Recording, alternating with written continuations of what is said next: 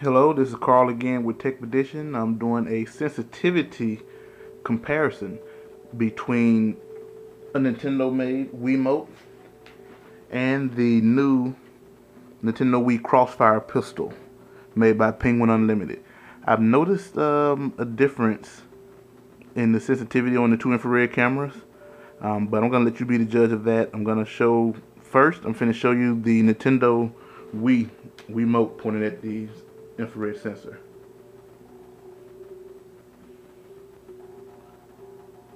I'm going to be showing both of these at the same distance from my television. Um, the TV that I am recording from is a 51 inch rear projection. As you see, the dots move around pretty smoothly. Actually still able to pick something up close to the edge of my screen. I am about nine, about 10 feet, 9 to 10 feet from the screen.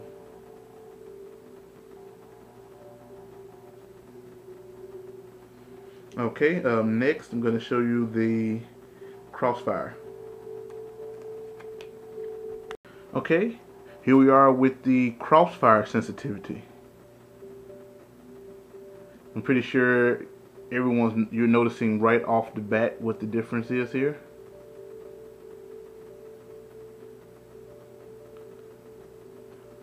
Yes, the Crossfire's infrared camera, it's showing at the same distance. It has the infrared sensor dots a lot farther apart than the Nintendo Wii, which could mean it might be uh, more sensitive, or did this the the lens stay zoomed in some? Because I am at the same distance I was with the Nintendo Wii Wiimote. Uh, I can also tell you that I can see the sensor bar from here and about right there that is the distance the sens the two infrared sensors are apart. I think uh, with I think this infrared camera needs to be zoomed out. Um, it does however pick up the distance. As you can see I'm bagging up. You can see it improving. You can see them getting a lot closer together I hope you can still hear me from this far away. Um, my guess,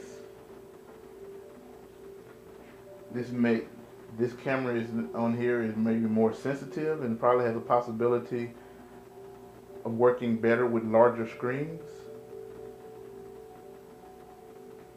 Um, but I don't know. This is causing a lot of problems with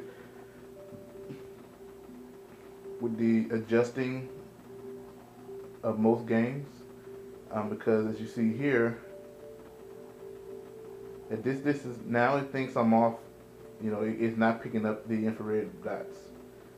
Um, with the Nintendo Wii Wiimote I would still be able to receive them at that distance. As you also see there's a lot less um, it's not as smooth. Well I guess it is as smooth but the most minute adjustment in my lateral or horizontal or vertical um, movement of my hand is, is a significant change in the position it thinks the infrared bars are. I'm going to go ahead and try to play some games